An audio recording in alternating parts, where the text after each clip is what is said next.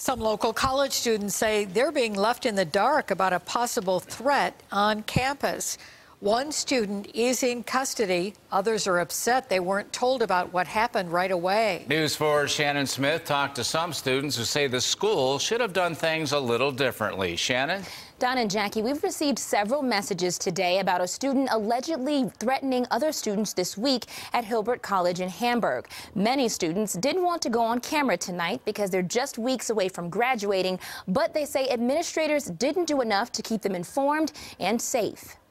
The campus here at Hilbert College is quiet, but the students here are making a lot of noise. Some students say they're afraid to be on campus after an alleged incident a few days ago. Scared, and I was upset that nobody told me are told anyone, really. None of the teachers knew, none of us students knew. Hilbert College says in a statement on April 15th, the college campus safety department received information indirectly that a student was on campus with a weapon. A report was taken, and campus safety officers immediately began work to see if the report was credible. After investigating, it was determined there was no imminent threat to the campus. A senior who didn't want to go on camera tells us she's relieved there wasn't a major threat, but she says she didn't get a notice from administrators about any incident until Wednesday. We deserved to know what was going on at the time that it was going on. I know there's certain policies where they can't say all of the information that's going on. We don't we do not like how it was handled. According to students, the person who allegedly made threats was evaluated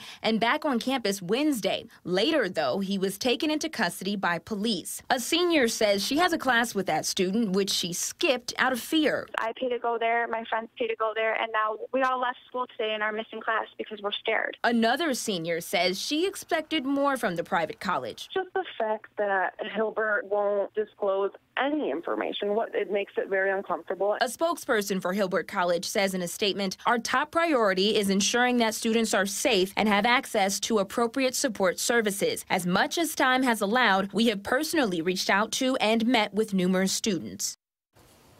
The seniors I spoke to with today say that they hope administrators will keep current and future students better informed. Hamburg police tell me tonight they are investigating. Now, I'm told the student is in police custody tonight, but neither Hilbert College nor police will say why. In the newsroom, Shannon Smith, News 4 at 11.